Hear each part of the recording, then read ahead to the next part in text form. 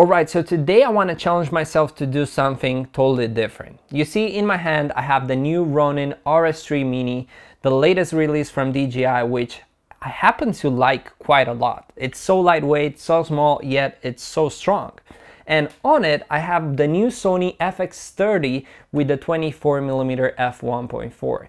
And together with this setup, I want to challenge myself to light a scene using just one light actually to light three scenes using just one light. And that light is the new Nanlite Forza 60B.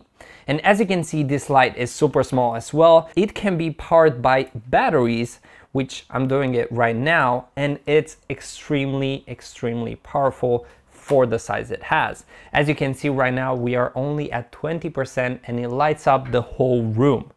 So, because I think this light is super versatile and because in the past I used the Nanlite Forza 60B quite a lot and because this is the new one, I'm really curious to put this light to the test and I'm really curious to put myself to the test and see if I can light three interesting scenes in my apartment on a random night. I don't have any ideas, I don't have any shot references, I'm just gonna try and be creative on the spot. So let's begin. This is the room that we're gonna film in. And as you can see everything looks really yellow in terms of white balance and everything. But I'm not gonna change my white balance or anything like that. I'm just gonna keep it like this and you're gonna see what I'm about to do. I have here my camera and everything. So first I'm gonna show you exactly how the footage looks only with this lighting and then I'm gonna change everything and I'm gonna start using the Forza 60B2 so Let's begin.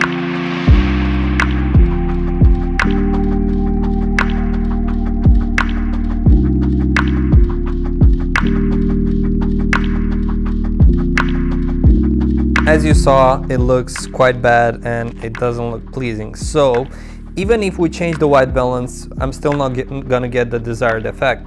So what I'm gonna do next is basically I'm gonna shut down this light and that light as well. So you're gonna see a difference after I shut down these two lights and power on our Nanlite Forza 60B.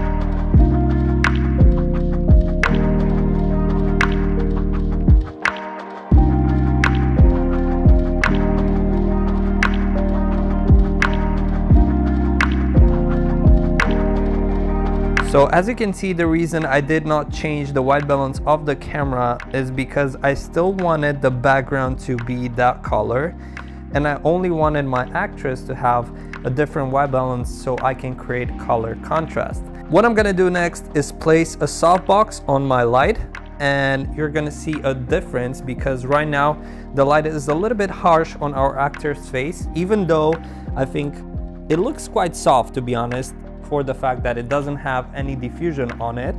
But let's put a softbox and let's see how things changes.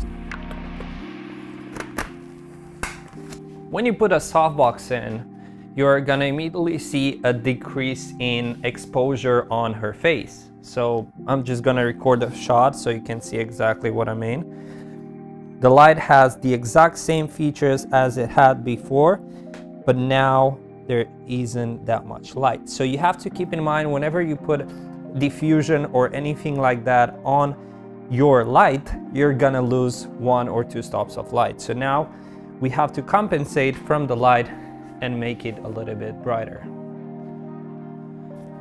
So we, if you look in the back, I'm just gonna record a little bit. If we look in the back, we can see the softbox there. So I'm gonna have to do something in order to not see it. I'm either gonna change the orientation of the camera and come from here and try to avoid it, or I'm gonna try to move the light a little bit in the back so we cannot see it any longer. Try to avoid any spills from the softbox and increase the light a little bit more. What I want you to understand is that the light right now is only at 29%. So we have enough light to make anything we want. So I love how the exposure looks right now. Everything looks more natural. We have more fill in the room, so I think the shot looks better. So I'm gonna press record and you're gonna see exactly how it looks.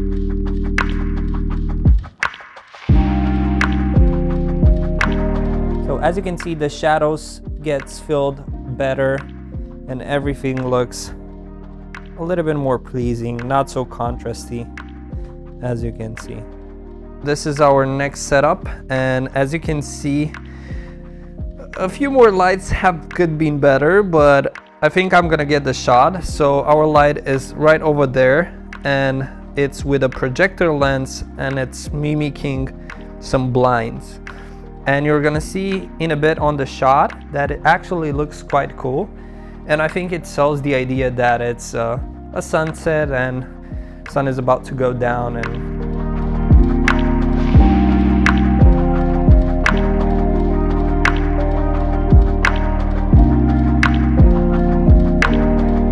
we get closer kind of looks better but if we get a little bit too wide there is too much black. So that's not okay. But I think I have an idea on what I can do. If we open up this it might fill up our shadows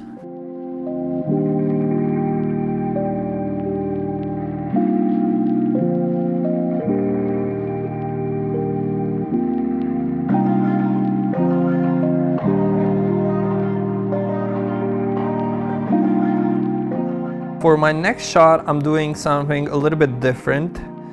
I'm pointing the Forza 60B towards the wall and then the wall creates a very soft light that bounces onto Madalena.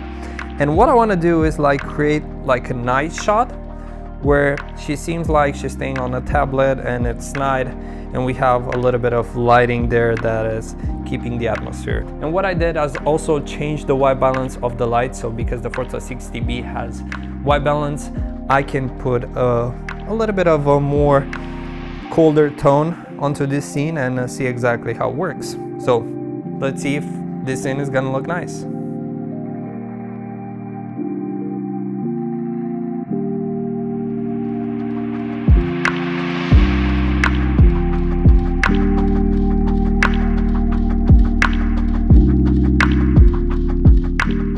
Hope you enjoyed this video and you managed to learn a few things from it. As you can see, you can get very creative even with one light.